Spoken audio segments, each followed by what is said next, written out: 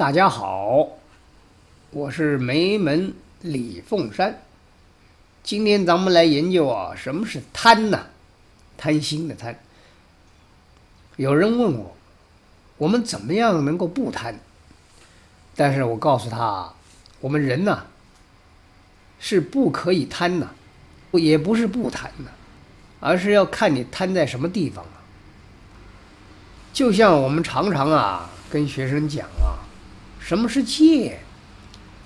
这个戒就是戒律。什么是节？这个节就是节制。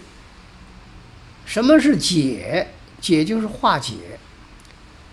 反过来说，戒不如节，节不如解。如果我们能做到，我们就整个就活开了，也可以活学活用了。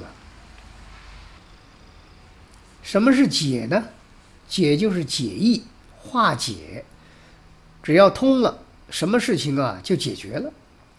如果不通，早晚还是要出问题。所以，我们命令一个人呐做事，倒不如教育一个人做事。教育好了，他永远是规规矩矩，不会出问题。可是，如果只是一个命令，当这个命令失利的时候呢，也就没有办法坚守命令了。哎，这个人呐，常常呢会改变的，这就是会出问题的原因。咱们讲贪，贪有往外贪，还有往内贪。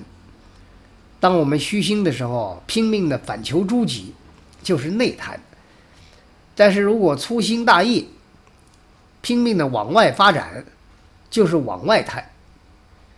有本事。我们就要往内贪，而不要往外贪。等到自己的内在充满的时候呢，自己该怎么做，需要什么，要多少，心里比谁都明白。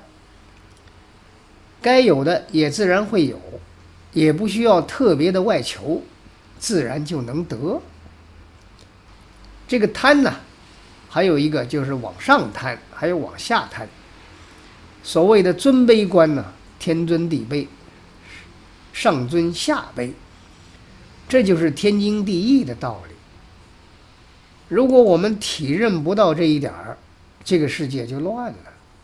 想想看，如果我们每一个人都处在卑的领域，这个世界都是尊。如果如果大家都想当尊呐，那这个世界都是卑了。回过头来看我们个人。一个始终想当尊的人，显现不出来什么是尊呢？一个真正懂得卑的人，反而能够显现出他的尊。这个里面学问很大，值得大家去深思啊！各位说对不对呀？好，今天咱们就聊到这儿。